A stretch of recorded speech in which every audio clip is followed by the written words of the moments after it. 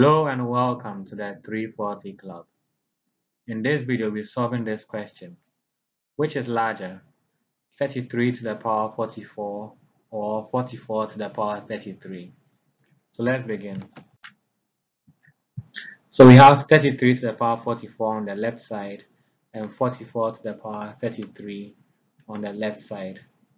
The first thing I'll do is find the 11th root of both sides. I'll find 11th root of 30 to the power 44 and the 11th root of 44 to the power 33.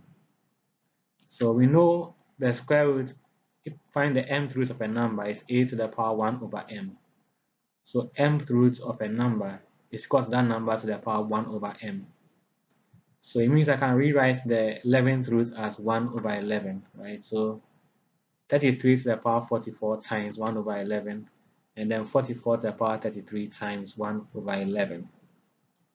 By doing that, we can now simplify the exponents, right? 44 divided by 11 is 4, so I have 33 to the power 4, and 33 divided by 11 is 3, so I have 44 to the power 3.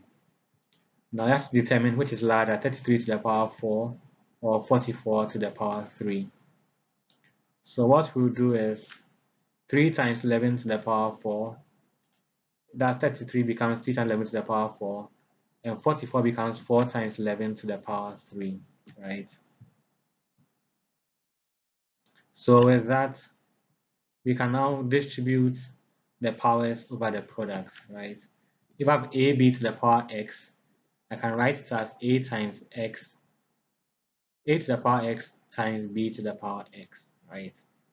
So we can do that and then we'll have 3 to the power 4 times 11 to the power 4 on one side and 4 to the power 3 times 11 to the power 3 on the other side. At this point, I can divide through by 11 to the power 3 and both have 11 to the power 3 and I have 4 to the power 3 on the right side and 3 to the power 4 times 11 on the left side. Now we have to compare and determine which is larger. 3 to the power 4 is 81, so 81 times 11. And 4 to the power 3 is 64. 81 alone is already bigger than 64, so definitely 81 times 11 will be bigger than 64. So 30 to the power 44 is larger. Now let's look at an alternate an alternative solution. So 30 to the power 44 and 44 to the power 33. So this time I'll write 44 as 4 times 11. So I have 33 to the power 4 times 11. And I have 44 as 3 times 11. So I have 44 to the power 3 times 11. And then at this point we can use this rule. a to the power x times y is equal to a to the power x all to the power y. So applying that rule, I can write 33 to the power 4 times 11 as 33 to the power 4 all to the power 11 and 44 to the power 3 times 11 as 44 to the power 3 all times 11 I can take 3 to the power 4 and 44 to the power 3 on the other side. I got that by ignoring the 11th power. If I have two numbers all to the same power right I have two integers all to the same power and I'm comparing them I can ignore those powers and compare the integers alone right so in this case let's compare 33 to the power 4 and 44 to the power 3. At this point, it follows the same as the other solution.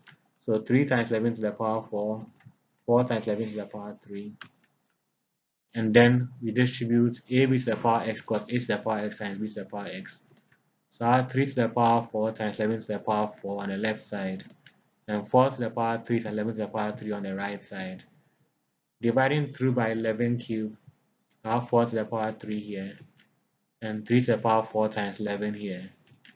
Now you can compare them. 3 to the power 4 is 81, so I have 81 times 11, and 4 to the power 3 is 64. And clearly 81 times 11 is bigger than 64. So that's all for this video. Thanks for watching. Make sure to like this video, leave a comment, and subscribe. Bye.